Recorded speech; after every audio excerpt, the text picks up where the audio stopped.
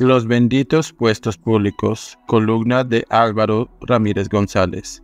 Mi amada Pereira ha vivido últimamente y está justo viviendo ahora una lucha muy encarnizada por los cargos públicos más destacados de la ciudad.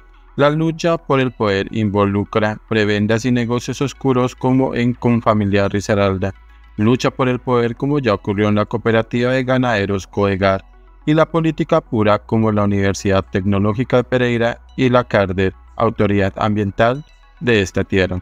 En Coegar, su gerente general, ya retirado, de muy buen desempeño en el crecimiento de esa institución, resolvió armar un grupo para apoderarse de la junta directiva y seguir desde allí mandando. Fracasó en su equivocado empeño por esa idea. Motivó una poderosa convocatoria que lo derrotó.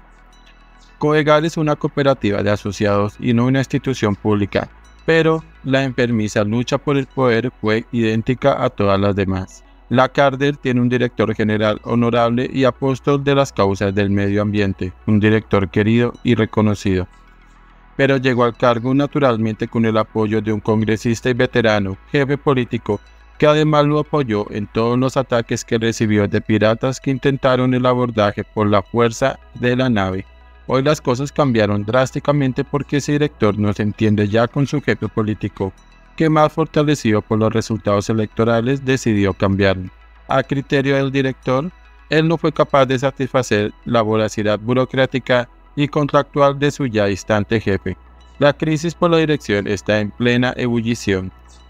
La Universidad del Tecnológica de Pereira viene de un muy buen manejo por parte del rector actual que lleva ocho años en el cargo. Bajo su dirección, la UTP ha hecho grandes construcciones y ha tenido un crecimiento exponencial. La llegada de Gustavo Petro al poder ha movido duramente las estructuras en la UTP y ahora la izquierda pretende apoderarse del cargo de rector. Un proceso excesivamente democrático pero no menos sinuoso. Tiene a toda la U, así como la sociedad pereirana en vela. La lucha por el poder en la UTP está en todo su furor y parece que se resolverá muy pronto pero ningún proceso más duro y feroz que el que se ha dado al interior de Confamiliar Risaralda.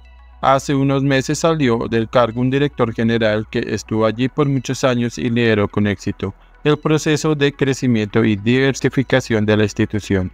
Un director de grata recordación, pero que cometió el error de atornillarse al puesto 14 años más, después de haberse pensionado dejó en el cargo a un propio suyo que integraba hace muchos años también el consejo directivo de la institución, un banquero de impecable reputación. El nuevo director, según su versión, no pudo mantener los negocios y prebendas que tenían de atrás los miembros del consejo directivo y Confamiliar.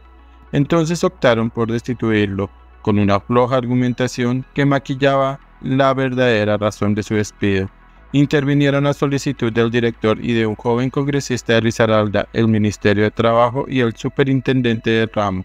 Restituyeron al director y destituyeron a todos los miembros del consejo directivo.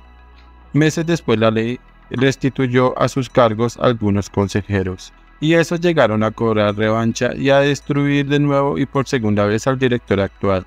De nuevo intervino el ministerio y destituyó también de nuevo a dos consejeros por algunas inhabilidades pero se trata de cambiar a favor del actual director la mayoría en el consejo directivo para mantenerlo en el puesto.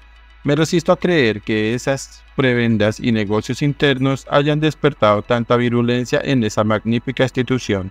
¡Qué vergüenza! Una reflexión.